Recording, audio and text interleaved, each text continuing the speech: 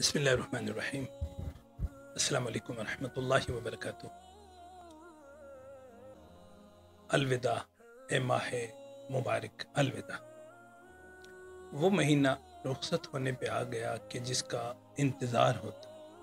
अलविदा, ए माह मुबारक अलविदा। अलविदा, ए माह मुबारक के वो महीना रुखसत होने जा रहा है, जिसमें हम तरावीह की नमाज़ के लिए घंटा घंटा डेढ़ डेढ़ घंटा खड़े होते थे।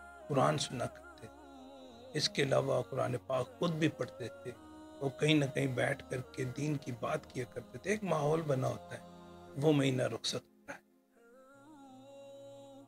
कहते हैं, साहबा कराम जब महीना रुखसत हो जाता तो आधे साल तक सोचते थे कि इस महीने में हमसे क्या क्या कमी रह गई।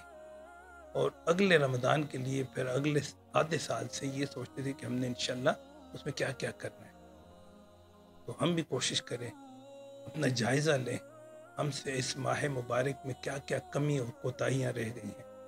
हम अपना जायज़ा लें, अपना एहतसाब करें। और अल्लाह से दुआ करें कि अल्लाह हमें अगला माह मुबारक नसीब फरमाए, उसमें हम अपनी से टारगेट रखें कि हमने इंशाल्लाह ये ये, इस इस तरह के काम करने अल्लाह सुबहान ताली हम सबको नसीब फरमाए और अल्लाह सुबहान ताली करे कि हमारे ये जो रोज़े हैं, ये अल्लाह अपने दरबार में कबूल मंजूर फरमाए। अल्लाम वरहमल वर्का